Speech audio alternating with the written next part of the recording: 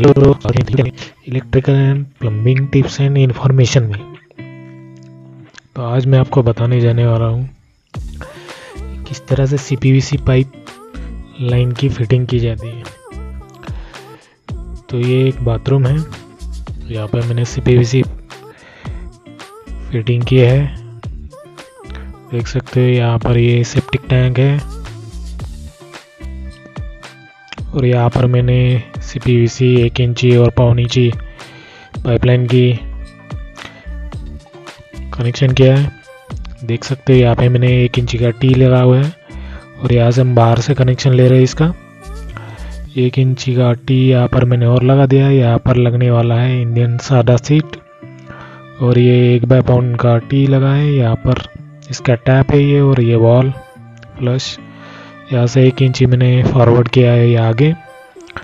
और यहाँ पर मैंने सॉकेट लगा के यहाँ बुच लगा दिया है पाउंड बाय एक का।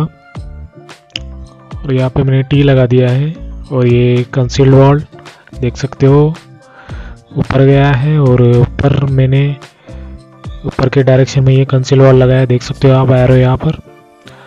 और ये मैंने साढ़े छः फुट की हाइट पर मैंने ये शावर लिया है और ये तीस तीस बत्तीस पे ये मैंने रखा है और यहाँ से मैंने और एक पॉइंट लिया है टी मारकर दो एल्बो दिया है और ये वॉश बेसिंग के लिए मैंने यहाँ पर पॉइंट लिया है।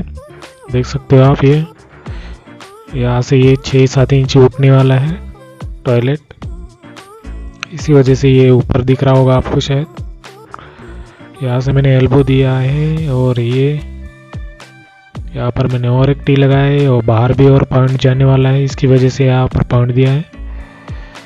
यहाँ पर मैंने बुश लगाया है पाउंड बाइक का और ये मैंने आगे यहाँ पर बढ़ाया है। तो ये नीचे वाला पॉइंट हमारा टैंक का पॉइंट है आउटलेट का। यहाँ पर मैंने 45 दिया है दो। ताकि प्रेशर डाउन ना हो, इसलिए इसके उस तरफ़ किचन है और ये किचन के दो पॉइंट है। ये एक डायरेक्ट पॉइंट है ये मोटर का। इसको मैंने पाउन इंची रखा है और बाहर निकाल दिया है। देख सकते हो आप, यहाँ से। यहाँ से बाहर निकाल दिया है मैंने। देख सकते हो आप। अभी ये बाहर से पौन इंची और एक इंची मैंने यहाँ पर निकाला है। ये एक इंची हमारा टैंक का आउटलेट है और ये पौन इंची हमारा मोटर को कनेक्शन जाने वाला है। यहाँ पर मोटर का कनेक्शन होगा। अभी फ़िलहाल यहाँ पर धरी काटना बाकी है। टंकी ऊपर लगेगी। यहाँ पर हमारा मोटर का कनेक्शन लगेगा। तो यहाँ से मैंने आगे बढ़ाया यहाँ पर और एक पॉइंट दिया है हमने। एक बाई पाउंड का टी लगा कर यहाँ पर हमने एक पॉइंट लिया है टैप के लिए। क्योंकि कस्टमर को यहाँ पर टैप चाहिए था।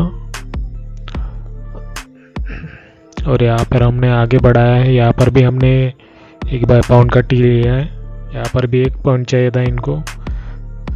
और यहाँ पर हमने 45 लगा के यहाँ पे नीचे से पॉइंट लिया है, जो कि स्टेयर है यहाँ पे, इसलिए हमने नीचे से पॉइंट लिया है। ये और ये आगे अभी काम होना बाकी है, इसलिए यहाँ पर रोक दिया गया है।